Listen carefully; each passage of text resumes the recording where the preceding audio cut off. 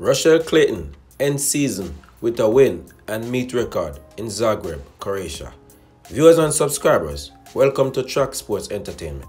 After a long, hard season, Rushell Clayton finally put one together in impressive style.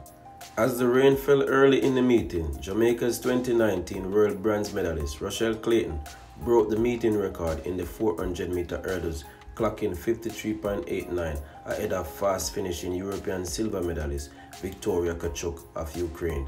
In a close race, Tkachuk ran 54.97 to narrowly pip Clayton's compatriot, two-time Commonwealth Games champion Janieve Russell in 54.04 and Panama Gianna Woodruff in 55.14 seconds.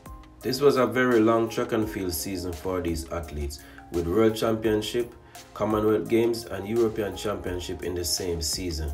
Now these athletes will be going off to a much needed vacation. Viewers and subscribers, leave your thoughts in the comment section down below. And thank you guys for watching. Until next time.